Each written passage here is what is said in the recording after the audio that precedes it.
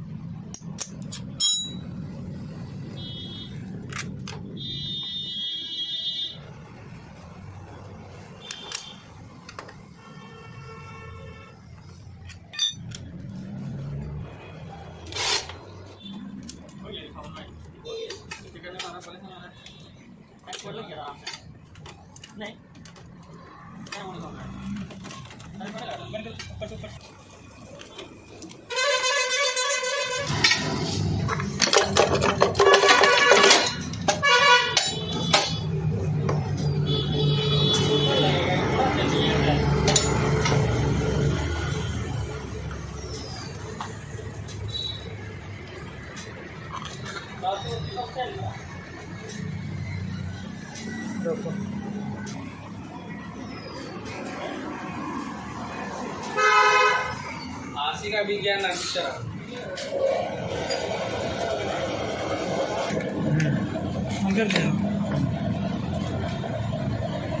बेंडो का बेल्ट है। ठीक है एक्टिवा एच वाला ही लगेगा। काम दिख गया होगा इसको खोलेंगे बिना खोले भी लग सकता है फिर भी इसको खोल के हम इसको चेक करेंगे। इसमें अंदर कुछ डैमेज तो नहीं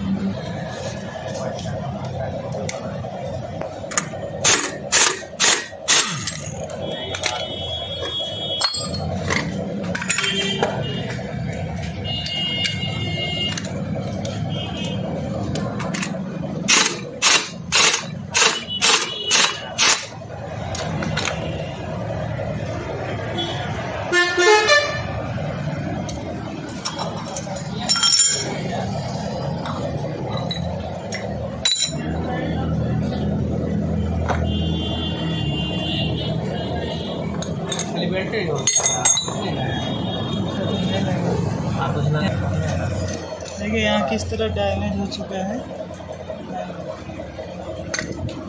बेल्ट के अंदर घुस गया है।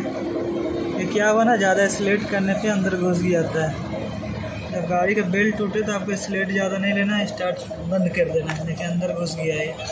फ़ाइल को डैमेज कर दिया। तो इसमें कोई इंजीनियरिंग है नहीं, जिस तरह खोला उसी तरह फिट होगा। ये भी ठीक है। इसमें थोड़ा सा प्ले आया है, पर इग्नोरेबल है। कस्टमर से पूछते हैं चेंज कराएँगे तो ठीक है। और कुछ दिन में ये डैमेज हो जाएगा। ये रोलर अभी चलेगा, ठीक हालत में। चलिए, आज के लिए इतना ही, मिलते हैं नेक्स्ट वीडियो